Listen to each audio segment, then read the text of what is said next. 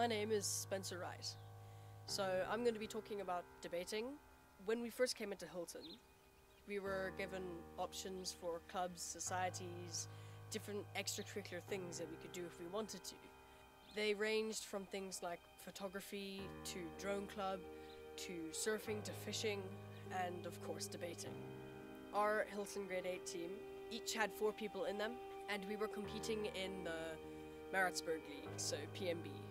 I'm quite proud to say that our endeavors have led to us having an unbeaten season, and it was quite a great moment when we were in our final debate and we came out victorious. We had put in a lot of preparation for it. There's endless hours of just work that can even lead up to nothing just because of the nature of debating. There's so many preliminary steps just to one debate that you end up gaining quite a vast amount of knowledge just about that one subject. It means that I've been able to form opinions, ideas, and beliefs about certain topics while also being correctly informed and knowing the other side of the actual argument. Something that debating is really good at.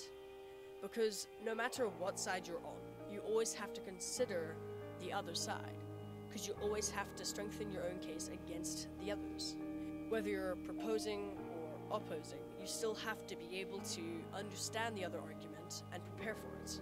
More recently, uh, we had provincials, not as a squad, but more so as individuals from the team. Within my team at Props, I was the weakest link. I wasn't really the best in any way.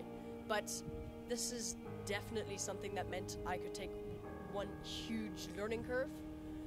That also meant I would be able to be, in years to come, one of the people who might contribute to what's happening, rather than sitting and learning.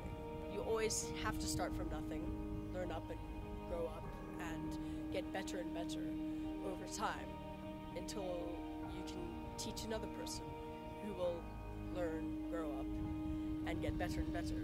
It's something that I'm happy to be a part of because not only does it mean that I'll fortify myself, but I'll also be able to fortify other people, make it so that they will be able to do the same themselves. Thank you.